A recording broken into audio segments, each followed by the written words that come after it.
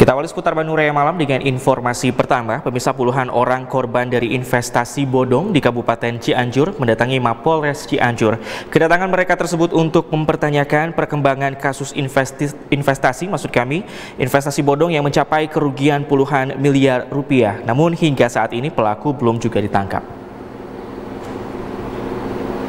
Inilah para korban arisan bodong dari PT CV Hoki Abadi Jaya. Sekitar 80 orang mendatangi Satreskrim Polres Cianjur menanyakan kelanjutan kasus tersebut yang sudah hampir satu bulan lamanya. Kasus investasi bodong yang menyediakan paket seperti hewan kurban, travel haji dan barang-barang elektronik di Kabupaten Cianjur telah menelan kerugian hingga puluhan miliar rupiah dengan jumlah korban mencapai 3.500 orang namun hingga hari ini belum menemui titik terang. Para korban berstatus sebagai ketua dan reseller tersebut mempertanyakan sejauh mana kasus pengembangan investasi bodong karena hari ini para korban dijanjikan oleh pihak kepolisian akan melakukan penjemputan paksa terhadap terlapor yang bernama Ani, bos dari investasi bodong tersebut. Menurut salah satu korban penipuan investasi bodong, dirinya berstatus sebagai koordinator yang mencari konsumen sebanyak mungkin. Dari kasus penipuan tersebut korban mengalami kerugian hingga 8 miliar rupiah.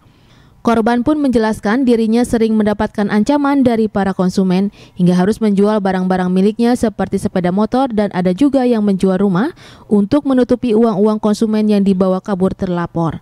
Selain itu korban lainnya akibat arisan bodong tersebut banyak yang mengalami stres berat bahkan hingga meninggal dunia. Untuk menanyakan proses kelanjutan katakan kemarin ada pemanggilan ketiga katanya. Makanya pemanggilan hari, siapa? Pemanggilan Bu Ani. Hmm, terus? Jadi uh, sekarang kita untuk menanyakan bagaimana kelanjutan prosesnya kan gitu. Katanya mau jemput paksa tapi belum ada konfirmasi. Sudah berapa uh, minggu teh atau bulan teh laporan ya, ke Polres belum ditangani? Satu bulan. Arisannya apa aja teh selain barang teh?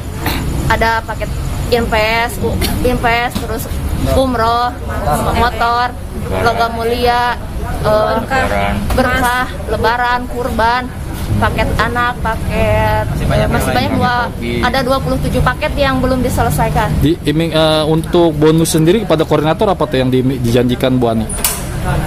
Uh, tidak ada, maksudnya baru diiming-iming aja. Tapi kenyataannya? Tidak, tidak ada.